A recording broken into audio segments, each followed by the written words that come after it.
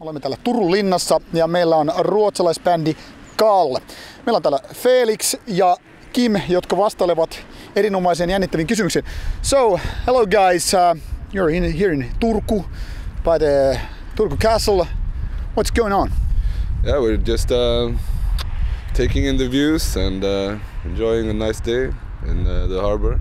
I suppose. So, uh, how was yesterday? You performed uh, for a pretty full audience in the New Gongi place. How was the feeling from last night? It was a, it was a really good show. I think um, most people, I would assume, don't really know about us or did not know about us, but uh, and it's a hard crowd. I guess it's the same as in Sweden. People are not really, sh- you know, getting into the music that open, but I think we won them over eventually. I think. Okay. Yeah, I saw some people after a while dancing, and that's always a good. Was the crowd something you expected to see? Uh, yeah, pretty much. Uh, I think it was uh, really good because uh, after a couple of songs, everyone were into the mood that we were doing. Since we're really different from the other bands performing at the festival, because we have more of a stoner kind of vibe. Yeah, I, I could describe you more like you have those kind of post-metal elements, which are not very common, uh, considering it's more like a black metal event. And you have, you both have a history in the more known band Lifelover, which is now in the grave. Yep. So, uh, what's Kall has? Uh, how how different Kall is from Lifelover? Well, um, I think it's a it's a different it's a new chapter, and uh, we've uh, we've come a long way, you know, since starting out, and we've been doing music for a long time, and this is um, yeah, this is a new this is a new era, of course, and it's uh, it's something new and something that we've been it's more free, I'd say, and it's um, yeah, it's a new chapter, I guess. It's uh, it's a new start. So. Okay, since Kim, you do a lot of the lyrics for the band. What kind of topics you are mostly writing about, and what kind of uh, ideas inspire you the most?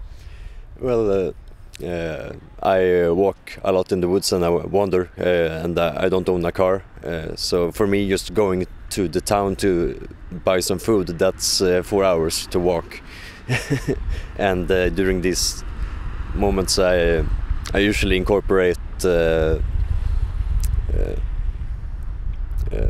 different uh, psychedelic experiences, uh, and uh, I paint a lot as well.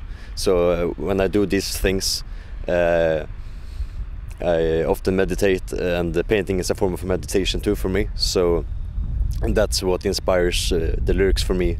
That uh, becomes the Kall uh, concept. Uh, that uh, is of course things that all members are very passionate about, and uh, we have a very psychedelic infused way of looking at things in the world because it's like a magnifying glass, you know, upon everything.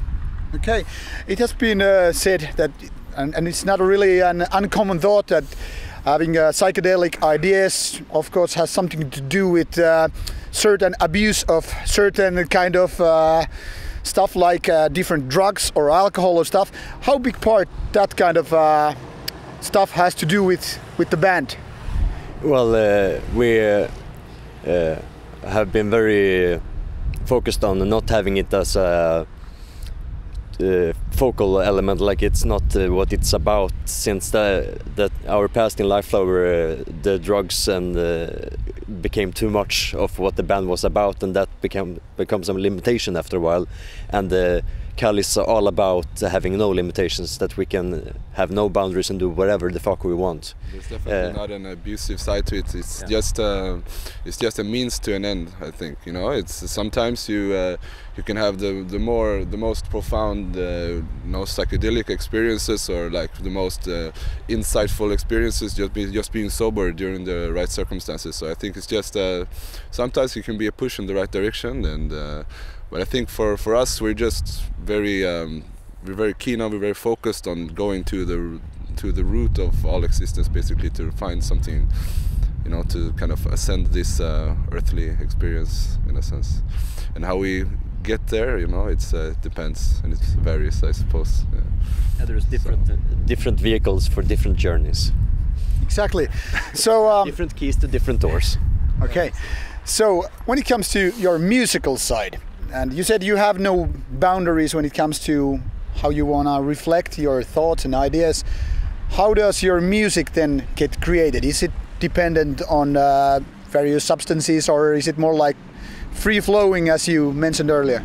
It's, uh, it's just a passion for uh, for creating, you know, and a passion for music, and what it could just be a like I said, like a spur of the moment thing in the rehearsal place from a jam or from somebody's idea that somebody's been thinking on, they've been nagging on your mind while you wouldn't be able to sleep last night, you know, and you just sort of have to create something, and then the rest of the process is very organic, you know, in this band. So let's say that Kim has an idea, or I have an idea, or you know the other members have an idea, and we just sort of work on it, and we take a step back and look at it, and then we yeah infuse kind of different kinds of elements, and we want to definitely make it as you know we have really want to enforce a feeling that you, uh, you get from the song and whatever way we do that it depends you know. We could have a saxophone on it or like some i don't know like a Rhodes piano xylophone or just fucking beating on some uh, can in the you know in the rehearsal place it's uh, it's different. But we really want we're keen on not just doing things for the sake of it but you know uh, or like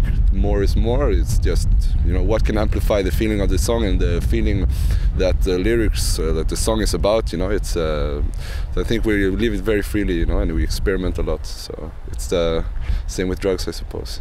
Okay. So so since your music is not exactly a typical Swedish extreme metal music or metal music in the first place. How does that affect your, so to speak, your position in the Swedish metal scene? Are you looked upon as a weirdos or just like a pioneers? Uh, we're outcasts. By choice, I suppose. Yeah. yeah, I don't think I don't think we really fit in, and I don't think a lot of people we're not even trying no we're not really trying that hard i'm not i don't really know where we're supposed to stand in the scene i think we're almost every time since I started playing, it was the same with Life Lovers Suppose. We've always felt like we were outside of like the other community or what you say. You know, it's uh, we always find the special people and we bond with some people, of course, but it's not like we feel that we're. Uh, as much uh, we don't have an obligation to any scene you know so yeah, it's, it's, like uh, what uh, we talked about uh, with hypothermia me and richard that we're not satisfied with uh, not only uh, the culture and the traditions, uh, but also the music scene. Where that's why we create our own. We're we're instead of being uh, trying to adapt and be a part of a scene that we're not really feeling a part of. We we are creating our own brotherhood and our own cult and our own music and our old traditions, and uh, that's uh, also hidden in our name because Kall in Swedish that that's not only the word for cold, but it's also a word for a calling. Okay. And that's what this is for us. We're kind of like the gypsies of the black metal scene, if you want to say. Yeah, like. well, well, that's a pretty way to put it. So, um, how does your music uh, reflect your everyday life, or the other way around? Not much. Oh well, it depends. You know, if uh, it's what I would want to to make my life around, but of course you have other obligations and you have. Uh, you have to, you know, get some sort of uh, bread on your table and everything. But uh, aside from that, it's it's um, it's definitely a big part of our lives and it's also the various elements of our lives outside of the music also of course gets integrated into the music i think it's uh, it's uh, it has to be dependent it cannot be like uh, you know you, uh, for me anyway you know for the music to be true for the music to be uh, for the art to be uh, genuine you know it has to be your your whole life you know. You have to like expose yourself you know to be naked in front of not literally but or, or literally sometimes literally but you know you need to yeah you need to incorporate everything you know and you cannot like shy away from anything. You have to be honest you know and if i you know if i'm feeling this way one day or i'm feeling that way one day or if i fucking listen to this kind of band or this kind of band way it's always everything uh, everything belongs together you know everything is uh, part of a big uh, i don't know like mycelium. I don't know. yeah. So, are, are, there any bands you would call having with kinship with? Other bands that you totally relate to, or are you just like outsiders if we go outside Sweden?